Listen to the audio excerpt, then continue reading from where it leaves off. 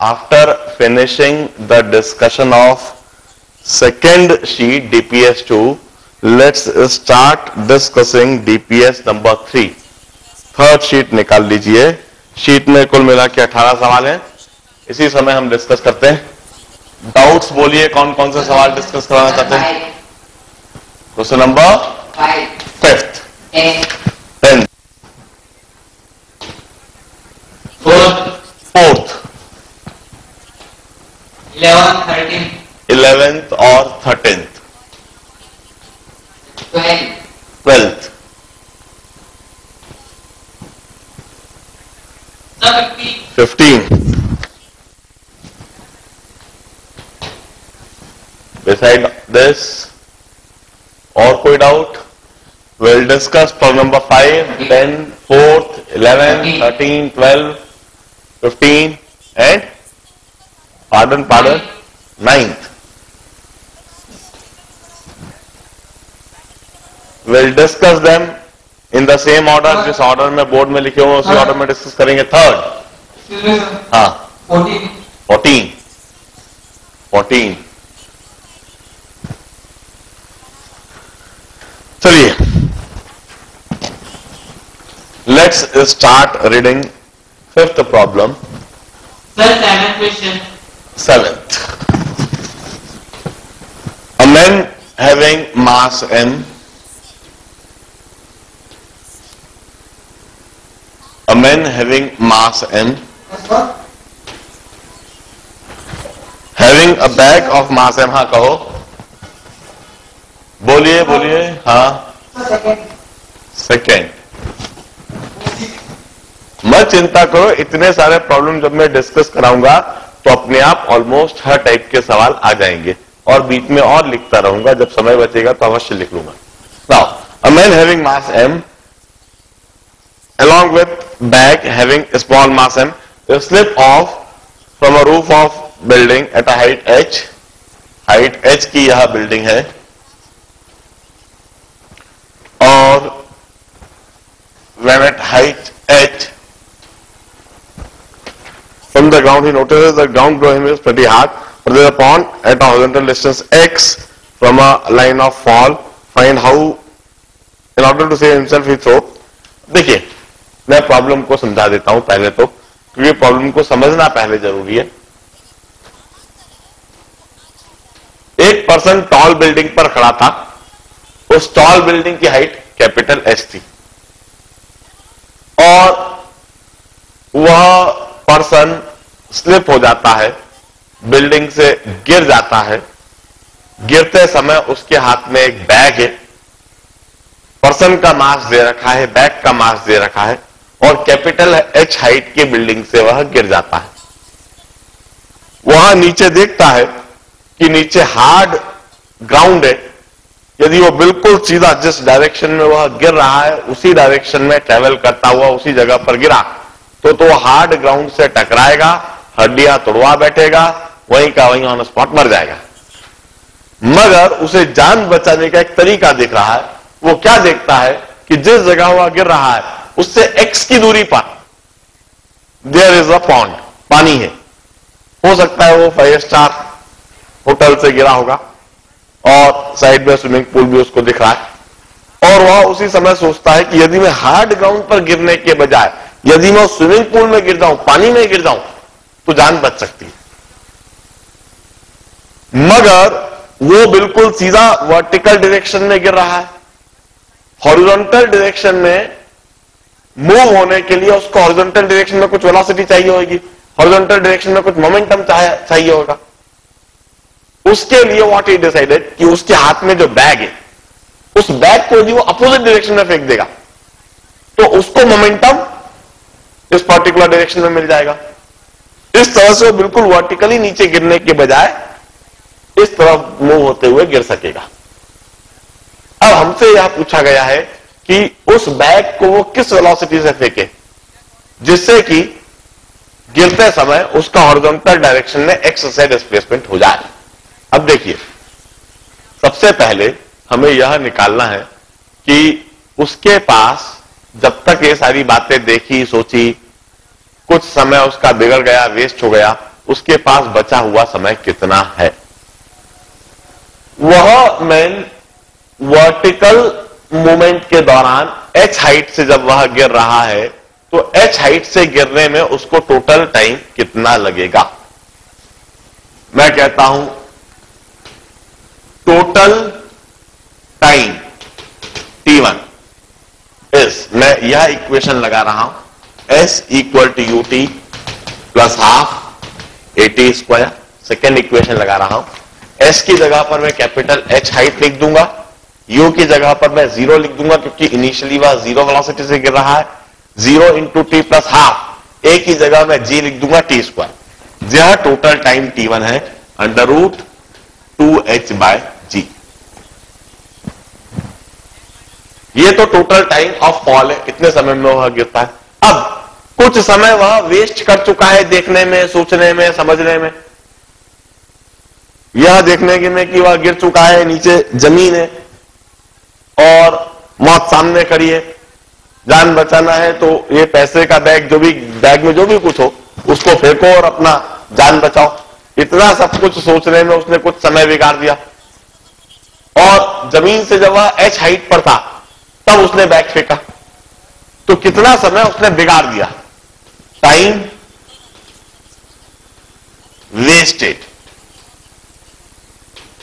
T two H minus H height गिरने में जो समय लगा उसने बिगाड़ दिया। Capital H minus small H इतना हाइट वो गिर चुका है, इतना समय वो बिगाड़ चुका है। फिर वापस एस की जगह में लिखूँगा H minus H capital H minus small H is equal to initial velocity अभी भी ज़ीरो है T zero half G T square इतना टाइम वह वेस्ट कर चुका है। Two into H minus H by G whole under root इतना time वह बिगाड़ चुका है। अब टाइम लेफ़्ट और टाइम रिमेनिंग कितना टाइम उसके पास में बचा हुआ है? That is T one minus T two इतना टाइम बचा हुआ है, इतने समय में वह वर्टिकली नीचे गिर जाएगा, ज़मीन से टकराएगा। इतना समय उसके पास में बचा हुआ है।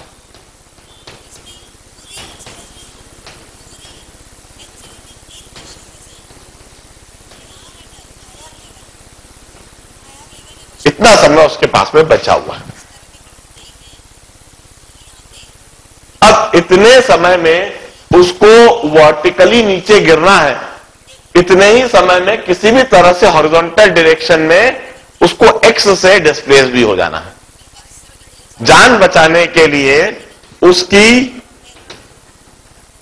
हॉरिजॉन्टल डायरेक्शन में जो वेलोसिटी होनी चाहिए वी एक्स जिसको लिख देता हूँ। It must be horizontal distance उसको एक्स ट्रेवल करनी है। और इतने समय में रिमेनिंग टाइम में ट्रेवल करनी है। X upon under root of two H by G minus under root of two into H minus H by G और X root G by two upon under root of H minus under root of h minus h.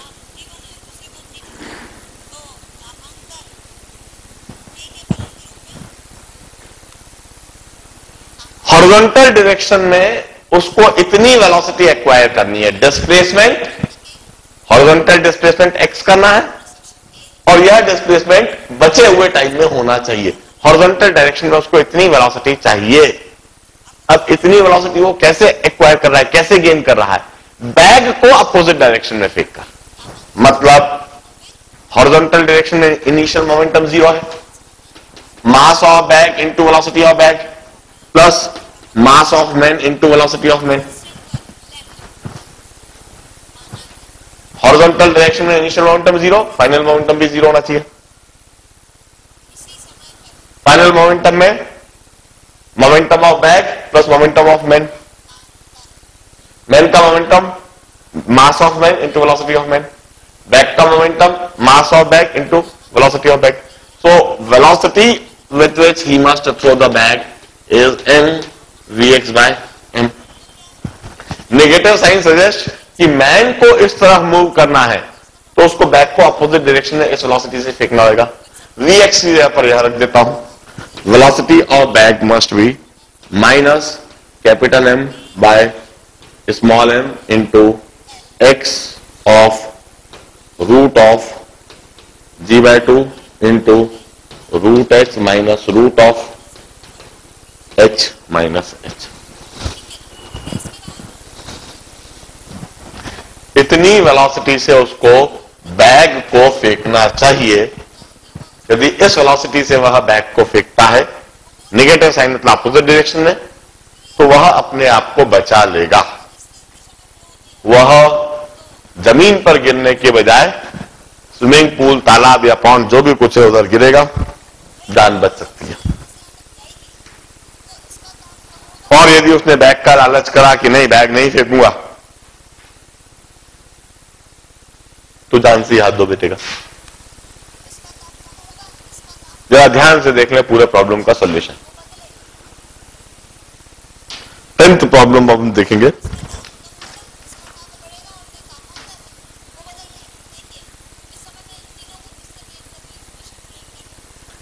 During a heavy rain hailstone of average size one centimetre in diameter falls with an average speed of twenty metre per second suppose two thousand hailstone strikes every square metre of 10 by 10 meter roof perpendicular in 1 second. Assume that hailstone do not rebound. Calculate average force exerted by falling hailstone on roof. Density of hailstone is given. देखिए क्या होता है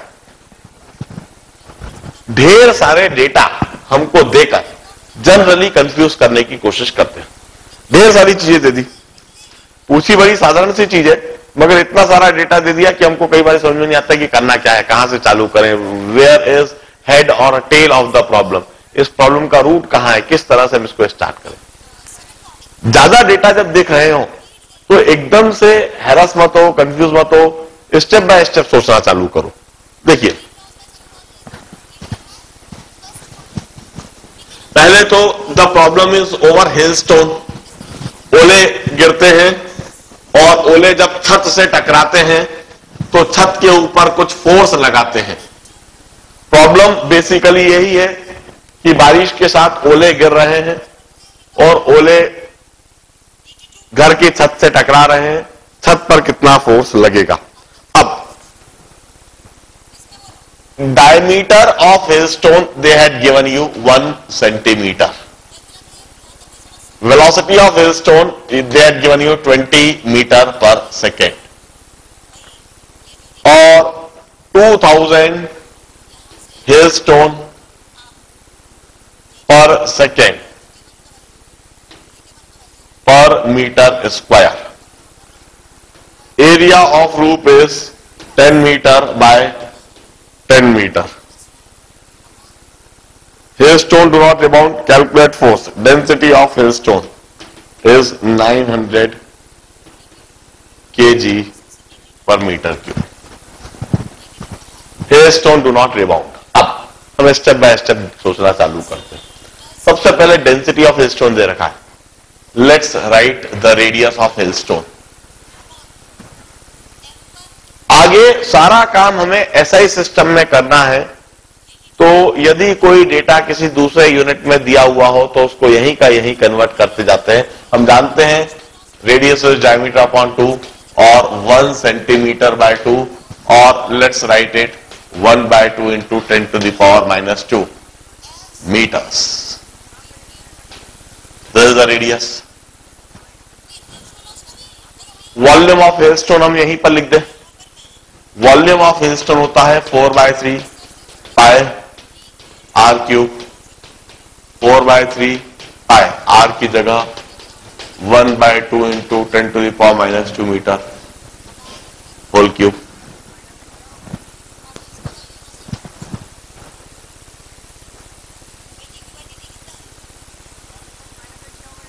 This is volume of hailstone अब density of hailstone दे रखा है, उससे हमें मास ऑफ़ हेलस्टोन मिल जाएगा। हेलस्टोन का मास हम अच्छी तरह से जानते हैं density equal to mass upon volume mass equal to density into volume तो मास ऑफ़ हेलस्टोन लिख देता हूँ। That is density is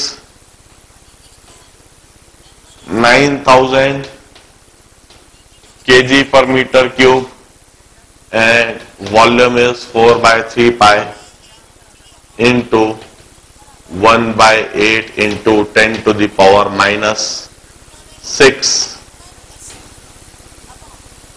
metre cube R cube करते ही लिखा हुआ है मैंने R cube one by two cube कर दिया जो कि one by eight ten to power minus two का क्यूब कर दिया ten to power minus six और मीटर क्यूब कर दिया। तो मीटर क्यूब मीटर क्यूब अपने आप कैंसिल हो जाएगा।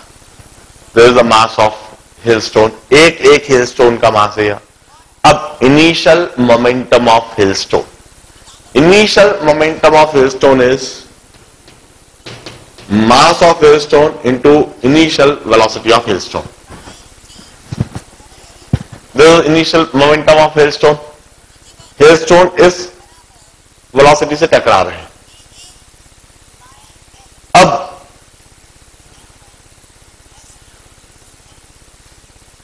this initial momentum of hailstone is mass is 900 into four by three pi into one by eight into twenty for minus six into velocity of hailstone ने दे रखा है twenty metre per second this much kg meter per second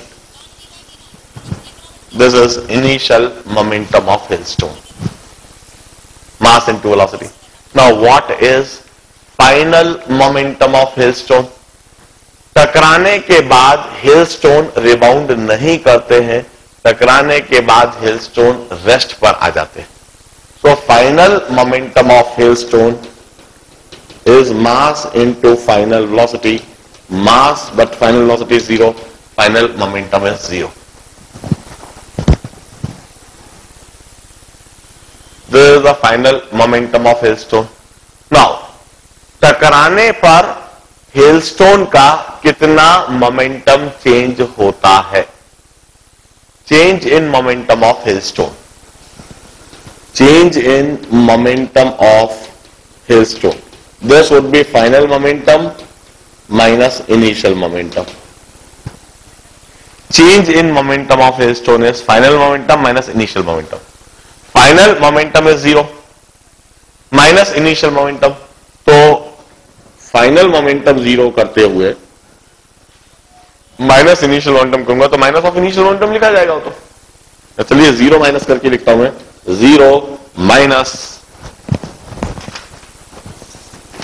zero minus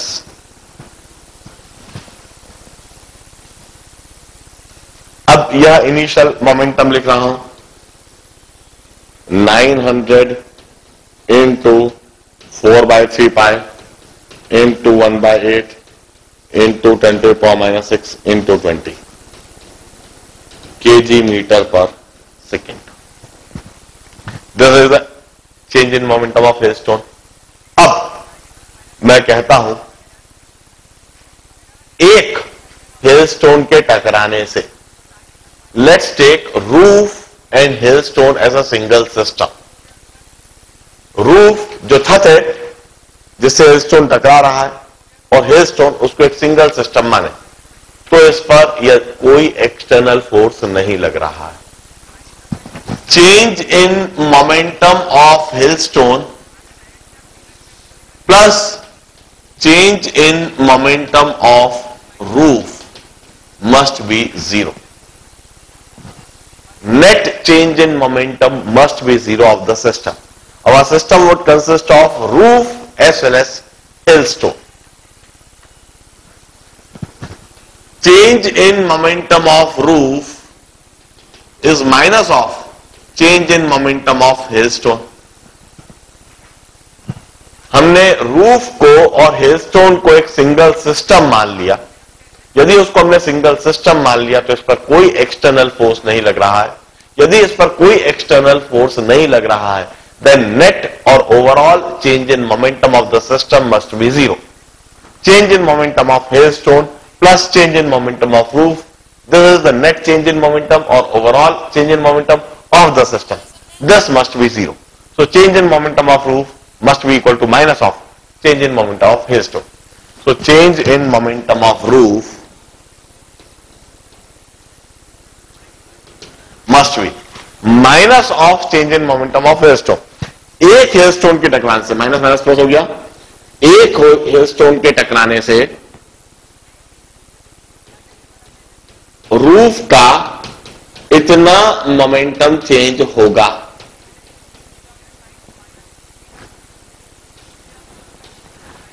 मैं unit लिखता हूँ KG metre per second per hailstone unit में मैंने per hailstone और ऐड कर दिया। मतलब एक हिल स्टोन के टकराने से। एक हिल स्टोन के टकराने से।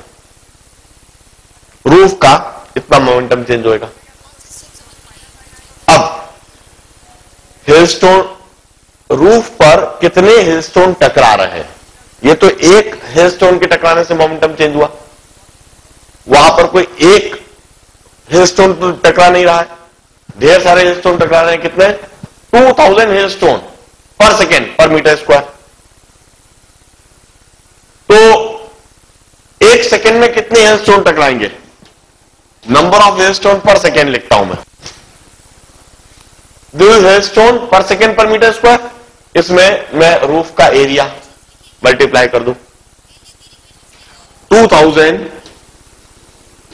2000 hailstone per second per meter square into 100 meter square. 2000 hailstone 1 metre square में एक सेकेंड में टकराते हैं। और कुल मिला के छत का एरिया है 100 मीटर स्क्वायर छत का एरिया 100 मीटर स्क्वायर तो वहाँ पर छत पर कितने हेलस्टोन पर सेकेंड टकरा रहे हैं? It would be two into 10 to the power 5 hailstone per second.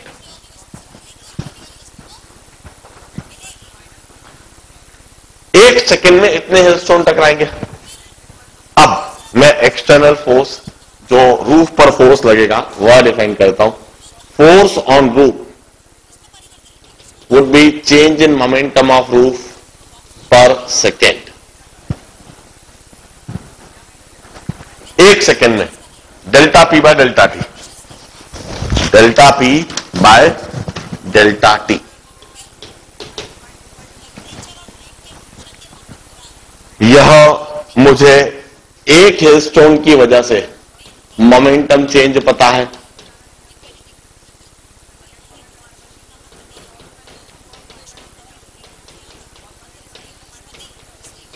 This is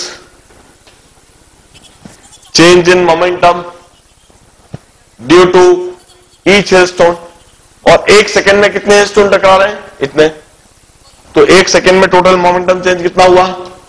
Two into ten to the power five this much K G metre per second square that is force in newton this would be the total force on the roof in newtons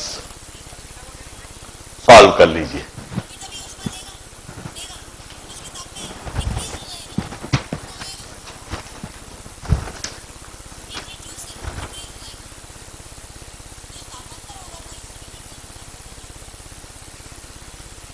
एक hailstone के टकराने से इतना momentum change होता है roof का, और एक सेकंड में इतने हेलस्टोन टकराते हैं। तो एक सेकंड में कितना मोमेंटम चेंज होएगा? Change in momentum per unit time would be the force and that is this change in momentum per hailstone into number of hailstone per second. We will solve fourth problem now.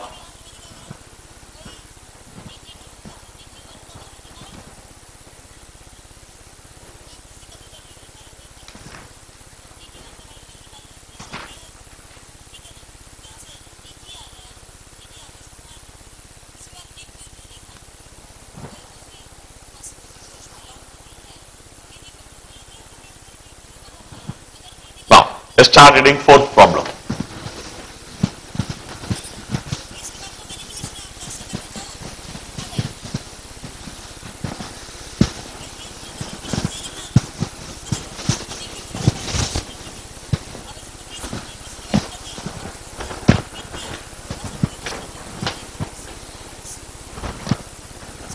A neutron initially at rest decay into proton, an electron and antineutrino.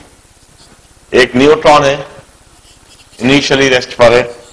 यह convert होता है एक proton में, एक electron में और एक anti neutrino में।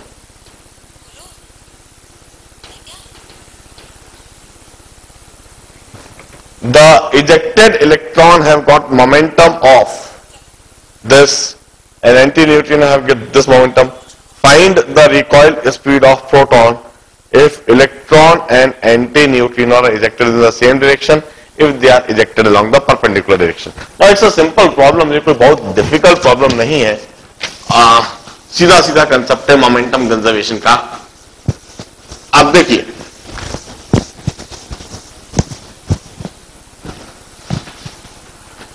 एक न्यूट्रॉन जो कि रेस्ट पर है यह एक प्रोटॉन में टूट जाता है एक इलेक्ट्रॉन में और एक एंटी न्यूट्रिनो में हाँ।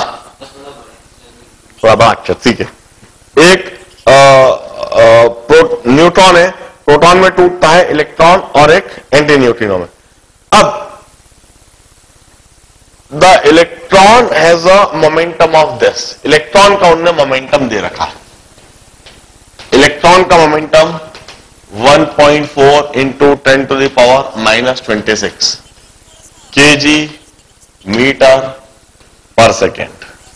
And antineutrino antineutrino का मोमेंटम उनने दे रखा है।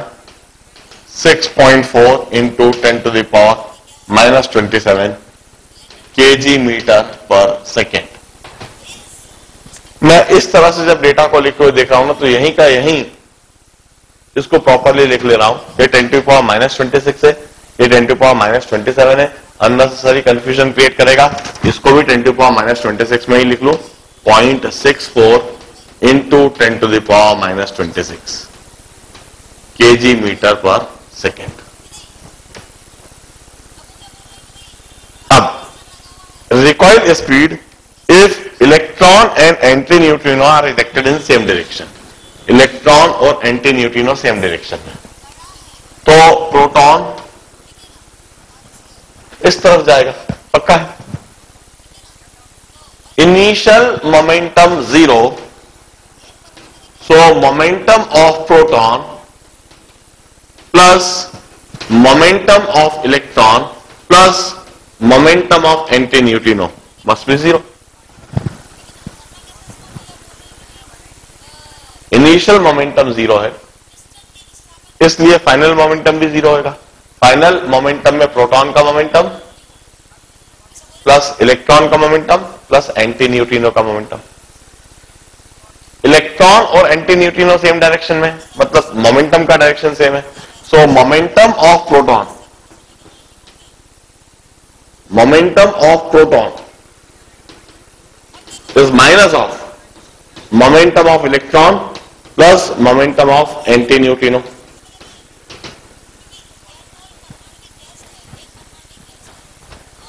Momentum of proton की जगह mass of proton into velocity of proton is equal to minus of 1.4 point four into ten to the power minus twenty six plus zero point six four into ten to the power minus twenty six mass of proton ने दे रखा है।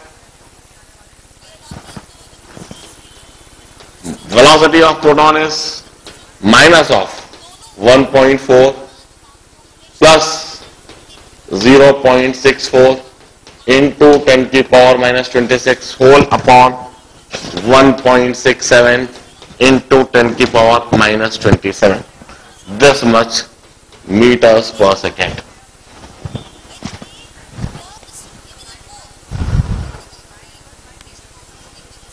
अब initially neutron rest पर था. Initial momentum zero था। इसलिए DK होने के बाद भी मोमेंटम ज़ीरो रहा टोटल मोमेंटम टोटल मोमेंटम में प्रोटॉन का भी मोमेंटम इलेक्ट्रॉन और एंटी न्यूट्रिनो का भी momentum finally momentum of proton must be equal to minus of momentum of electron plus momentum of anti neutrino momentum of electron हमें दिया हुआ है मोमेंटम ऑफ़ एंटी न्यूट्रिनो हमें दिया हुआ है। माइनस साइन का मतलब है कि प्रोटॉन और एंटी न्यूट्रिनो जिस डायरेक्शन में जा रहे हैं प्रोटॉन उसके अपोजिट डायरेक्शन में जाएगा। हमने वेलोसिटी ऑफ़ प्रोटॉन निकाली। In case one case two if they are ejected along perpendicular direction अब देखिए, यदि यह दोनों परपेंडिकुलर डायरेक्शन में इजेक्ट होते हैं तो क्या होगा मैं इसे साफ़ कर दूँगा। ये तो पहला वाला केस बिल्कुल सिंपल है। यदि परपेंडिकुलर डायरेक्शन में इजेक्ट होते हैं तो परपेंडिकुलर डायरेक्शन में मोमेंटम कंजर्व रहेगा। यदि वहाँ परपेंडिकुलर डायरेक्शन में इजेक्ट हो रहे हैं तो दोनों परपेंडिकुलर डायरेक्शन में मोमेंटम कंजर्व रहेगा। मैं एक्स एक्सेस इसे बोल देता हूँ वाई एक्सेस इसे बोल देता हूँ। मैं कहता हूँ इलेक्ट्रॉन इस तरफ़ जा रहा है, कुछ पीई मोमेंटम के साथ, और एंटी न्यूट्रिनो इस तरफ़ जा रहा है, कुछ पी वाई मोमेंटम के साथ। या इसको P X P A N और इसको पीई अब जो प्रोटॉन है, वह कहीं इस डायरेक्शन में ट्रेवल करने लगेगा, किसी वेलोसिटी के साथ, उसका कुछ एक्स एक्सिस के लॉन्ग मोमेंटम होगा कुछ वाई एक्सिस के लॉन्ग भी मोमेंटम होगा। प्रोटॉन इस डायरेक्शन में जाने लगेगा।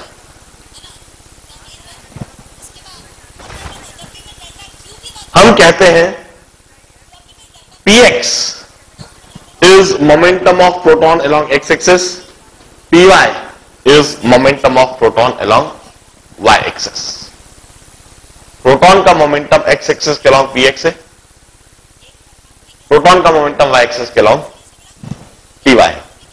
अब हम कहेंगे, x एक्सिस के अलॉन्ग कोई एक्सटर्नल फोर्स तो लग नहीं रहा। है तो x एक्सिस के अलॉन्ग मोमेंटम कंजर्व रहना चाहिए। X एक्सेस के अलॉन्ग मोमेंटम कंजर्व कैसे रहेगा? P X plus PE must be zero Y axis के अलॉन्ग भी कोई एक्सटर्नल फोर्स तो लग नहीं रहा है तो वाई एक्सेस के अलॉन्ग भी मोमेंटम कंजर्व रहना चाहिए। P Y plus momentum of anti neutrino must be zero so px is minus of PE, that is minus of 1.4 into 10 to the power minus 26. Ty is minus of momentum of antineutrino, that is minus of 0.64 into 10 to the power minus 26. This is momentum of proton.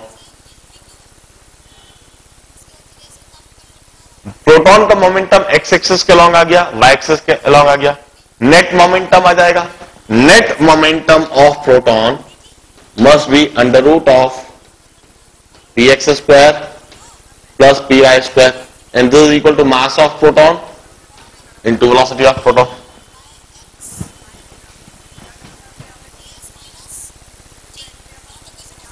this is equal to under root of px square. Is 1.4 into 10 to the power minus 26 whole square plus 0.64 into 10 to the power minus 26. is the velocity of proton would be under root of 1.4 square plus 0.64 square into 10 to the power minus 26 upon 1.67 into 10 to the power minus 27. This would be the velocity of proton in this case.